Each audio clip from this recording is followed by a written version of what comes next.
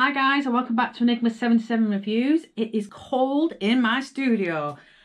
I am not handling the cold very well and I don't like being cold. So I've been filming all bloody day. And the reason why I'm filming like as many videos as I am this week is not because I'm going back in hospital, but half term's coming and Zach at home for a week is a nightmare. I would never get any filming done and it, it'd be constant like stopping, starting, stopping, starting. So I thought I'm going to get them all done and then I don't have to worry next week when I'm releasing videos. Now it is Zach's birthday on Tuesday. He's going away on Monday to Drayton Manor. I won't be going, but I will be getting a few things ready. I do have um, a cookie, cooking, baking cupcakes and biscuits for his birthday based around Halloween. So I do have that video coming up soon.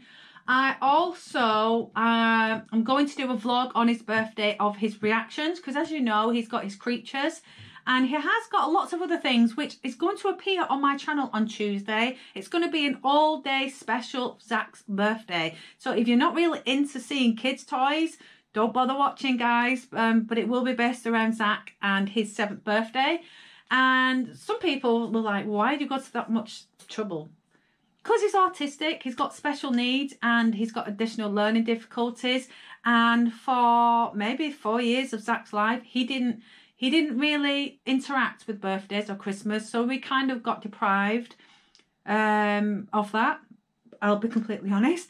And now he's just so excitable about birthdays and Christmas that we make it really special for him. Anyway, Killstar. This is my second pair of buys that I have got from Killstar. And um, these were totally unexpected. This is a Christmas gift that I've had now. Um, it doesn't really make any difference because I can't actually wear them at the minute. I don't know if I'll be able to wear them anytime soon. But I may be able to, to have a night out at our local and sit down with them on because there's not a lot of walking involved. But these are Cemetery Lane heels. They were £37.49, guys. And they were bought on the 25% sale. God damn, my head is itchy. So they came in this very big box and again, they've got this little label on which is for freshness so your shoes don't get mouldy. Um, it says, please do not eat me. I wasn't planning on doing. But again, the same kind of design box as the other one that I've got. And I absolutely love these. Now, I know that Mama Goth had these because I was watching a few um, of the alternative um, YouTubers and their clothes that they got from Killstar because I just think it's really exciting and, and I like watching to see what everybody's got. And I noticed that she did a whole um, Rob Zombie um, delivery. absolutely amazing. I absolutely love, I really do want the Rob Zombie dress that she's got. It's on my list to buy for Christmas. But she got these shoes and I just thought, wow. Now she tried them on the same as me with tights. I'm not too sure these are the kind of shoes you'd wear with tights. Maybe the lighter shade of tights would look all right. But I'm not too sure if darker opaque tights go with this kind of shoe. And I'll probably explain why, being the, the shoe connoisseur that I am. So these are the shoes. Now, my first reaction to these was, oh my God, I love them. They do have these amazing back wings. Now, you could actually bend them back. I mean, I personally um, would love to keep them out like that, but they do bend back into that shape. Um, they remind me of, is it Louboutin? That kind of designer make of shoe, which is red on the inside and black paint and shiny on the outside, which are like hundreds and hundreds of pounds. These were £37.49p, guys. That was a bargain. And I think they're still at a reasonable price at the minute on Killstar because there is a Halloween sale on at the minute. If you haven't gone to take advantage of it, go ahead and have a look. If you're a Killstar fan, if you're not a Killstar fan, don't bother. So, um, yeah. So these were a, a gift. Now, I did actually tell my husband I wanted a pair of these. I didn't ask for them. I just said I liked them. He knows that I'm big on shoes. I might not be able to wear half the shoes that I wear or that I have, but I like them. They're very pleasing to the eye. And I like these on my unit, which will be made next year.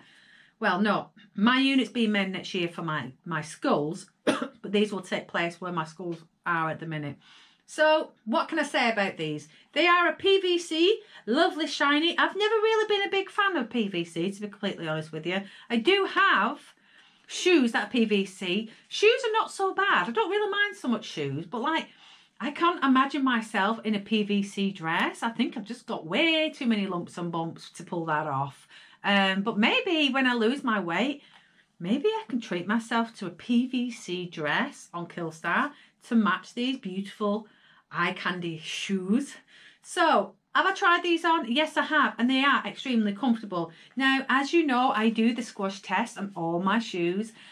I have a thing for instep, and the instep on this is not too bad. I hate drastic instep shoes. When I bought my Public Desire haul, I didn't really like understand the fact that the instep on them was so crazy that they would absolutely cripple me, and I was gutted because I have kept a pair of them, one pair. I've, I've got rid of one's to give away and one I've got rid of, I sold, and I've kept one pair simply because they're mules and they're easy to get on and off and they're not too bad. But the other two were deadly for their instep. Instep on the kill Killstar is pretty reasonable. I could walk around in these for a substantial amount of time, but don't think I could stand in them for a long period of time. That's the only problem. Uh, they are squishy, very, very squishy. Not as squishy as um, Skechers, I suppose. But like I said in my other Killstar review, you could put some insoles in there if you wanted to. I personally wouldn't want to because I think these have got enough cushion kind of feel in itself. I'm not too sure how the whole heely bit would be, but this is quite soft here, but not so much here. I tend to um, put some kind of jelly kind of heel thing in here to, to prevent that that whole rubbing on your heel thing, which I hate. But these do tie at the ankles, which I think is very appealing and very sexy if you're going to wear these bare-legged. Now, I would wear these without tights and um, I'd have to have a bit of false tan on because my legs are like milk bottles. And um, the only problem with false tan when you've got tattoos is it kind of fades your tattoos out. So then you have to go with a cotton bud and go any tattoo. Don't ask, it's a nightmare. So these would look really, really pretty with something like a leather skirt or a PVC skirt or dress. Um, I personally wouldn't know what to wear with these. Um, I did try my Killstar dress on with these and they did look pretty fab. But I had tights on and I do like the dress with tights. I just don't think these go with tights. Um, maybe my leather trousers would look nice, or maybe PVC trousers would look nice with these and a nice top. But either way, they are really comfortable shoes, guys, and for the money, they are worth it. They are really worth it. The whole bat wing design, for me, wins it in itself. I mean, without that, they're just a basic PVC shoe. And they look pretty much the same as all the shoes that I've got in my collection that are PVC. But the fact that they have this wing design, I'm just a bit gutted that they don't just like stay like that because I just think that's immense. There must be a way of getting it to do that, but I don't want to keep doing it because I don't want to wreck them. Now I have inspected these shoes because I inspect my shoes. And I will say you can see a little bit of the glue where the um, bottom of the sole is connected to the actual shoe, like the, the wedge part, platform part. Think words, Rachel. The platform part does look, and there is slight scratches to the front, but only slight. I'm not picky, guys, when it comes to shoes, but because I've seen so much negativity on Killstar shoes and footwear, I'm just checking out before anything does happen. And I am checking like the heel area. And guys, I haven't actually worn these out. I've worn them once in the bedroom. There has got a little bit of scuffs on, but nothing major. Now, if I look at the other shoe, and I've inspected that as well. And again, they just look a little bit like somebody's had them on. Now here, um, worries me a little bit. So at this this part of the shoe here, you can see where the glue, you can take a closer look, you can just see where the glue is kind of coming apart a little bit. Now I will keep an eye on that and just check. But um, I mean, I've squeezed it in and it doesn't seem to be doing anything.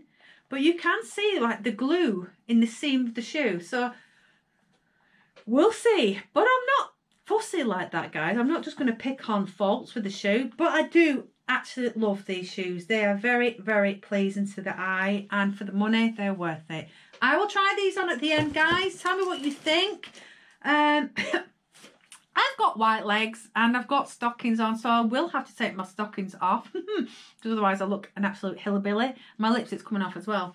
But um, that's them, guys. I'll pop the link on below. Go and check them out. Um, I think they were worth the money, and I think you might even get them cheaper now. So that is the Killstar Cemetery Lane heels, guys. Tell me if you've got some. Have yours lasted?